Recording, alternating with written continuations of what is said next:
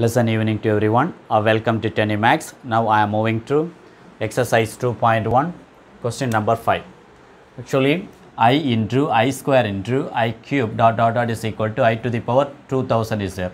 Already we have learned one of the important formula in law of indices. That is actually so a to the power m into a to the power n into a to the power z into a to the power h means the base will be same means we can write it m plus n plus z plus h. So how to rewrite now i to the power 1 plus 2 plus 3 plus dot dot dot to 2000. So we have one algebraic formula.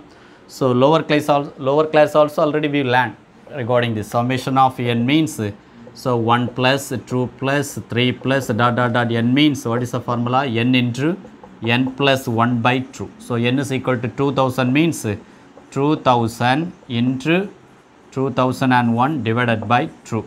So again 2 and 2000 will be cancelled means 1000 times possible isn't it?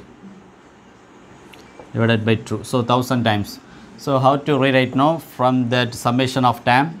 So i to the power 1000 into 2000 isn't it? Sorry my dear 2001 again how to split i to the power 1000 actually. I to the power of 4 the whole power of 250 isn't it? 250 into 2000 sorry my dear actually 2001 isn't it? 2001 so again i to the power means 1 power of 250 into 2001 so 1 power of anything means value will be 1 this is our final answer okay so please listen my dear students. If you have any doubt please put in comment box. I am ready to clarify your doubts. Okay? Thanks to viewers. We will continue our next video. Bye bye